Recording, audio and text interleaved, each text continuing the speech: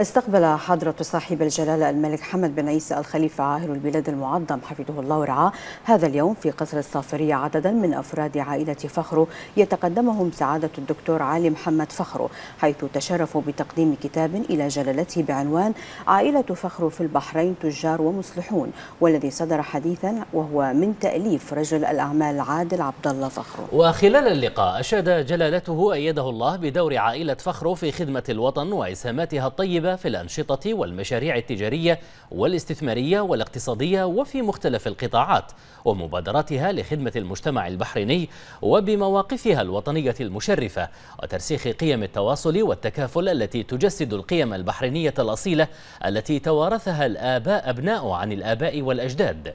ونوه جلالته حفظه الله أن بلدنا البحرين كبيرة بأهلها وطموحهم وهم محل تقديرنا واعتزازنا والمواطنين الكرام يحرصون دائما على خدمة وطننا وحماسهم لرفعته وأن أهلها بمختلف دياناتهم ومذاهبهم موضع الاحترام والإعجاب من العالم لما تنعم به من تكاتف ومحبة عبر تاريخها.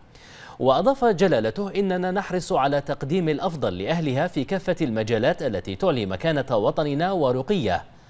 وأثنى جلالة الملك المعظم بالجهد الطيب الذي بذل في إعداد هذا الكتاب الذي يوثق مسيرة عائلة فخر في تاريخ البحرين الحديث ودورها في الحياة التجارية في البلاد معربا عن شكره على هذا الإهداء القيم. هذا وقد أعرب أفراد عائلة فخر عن جزيل الشكر والتقدير وبالغ الامتنان والعرفان إلى المقام السامي لصاحب الجلالة على ما حظيت به عائلتهم من إشادة وتقدير وثناء من لدن جلالته. داعين المولى تعالى أن يحفظ جلالته ويمتعه بدوام الصحة والسعادة وموفور العافية لمواصلة قيادة مسيرة الوطن المباركة نحو المزيد من التطور والرقي والازدهار.